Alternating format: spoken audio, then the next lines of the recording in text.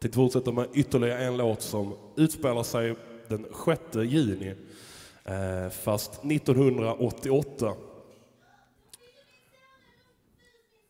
Då gjordes... Nej. Den här handlar... Då är jag 40 veckor yngre än din son, för det här handlar om när jag gjordes.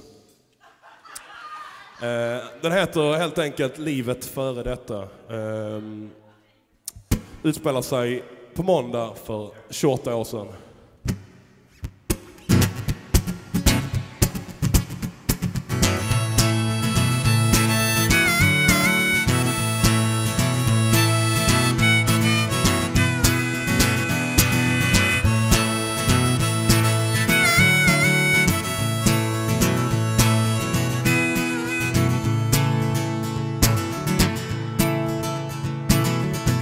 Redan som spermie var jag en utav de bästa.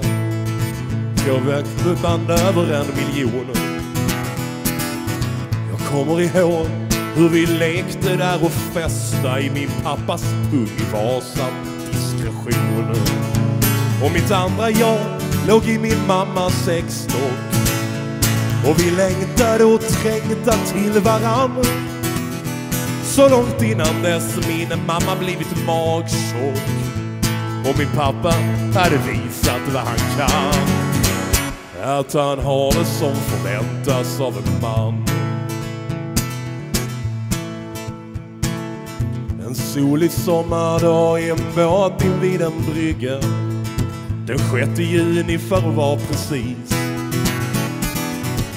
Istället för att hissa flaggan för vårt trygga kära fosterland så uppstod en kortis.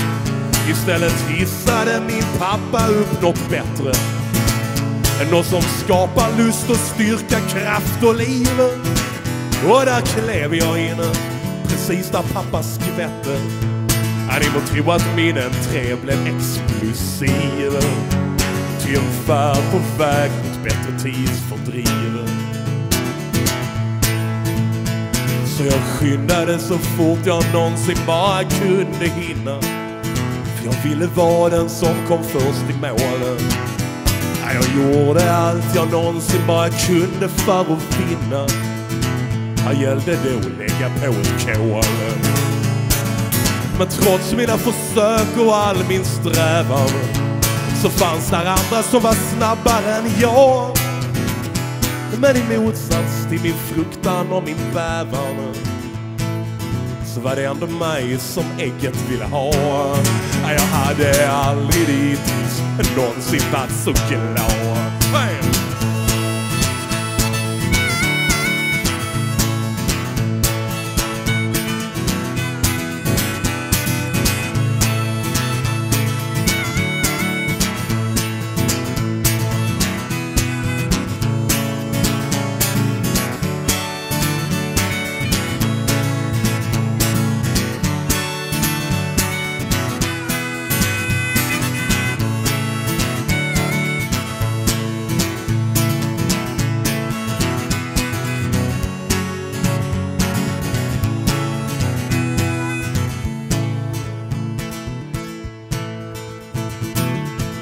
Dansade, förenades, vi lekte hela kvällen.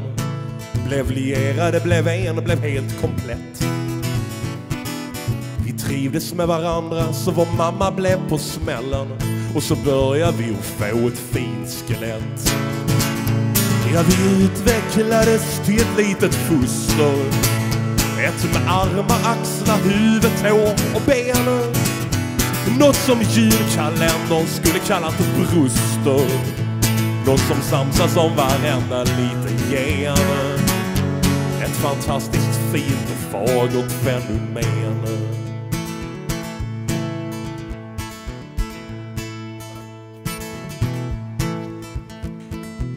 Efter 40 veckor var jag trött på att vara instängd och som alla ungar på att sitta still. Och dessutom lika sugen på att utöka vår folkmängd som att visa världen att jag nu fanns till. Men med navelsträngen flera varv runt halsen blev jag lagd i en kuvös ett litet tag. Den dagen blev det ingen bullebumpa alls. Men jag fick i vart fall bli bekant med mor och far. Men den historien får vi ta en annan dag.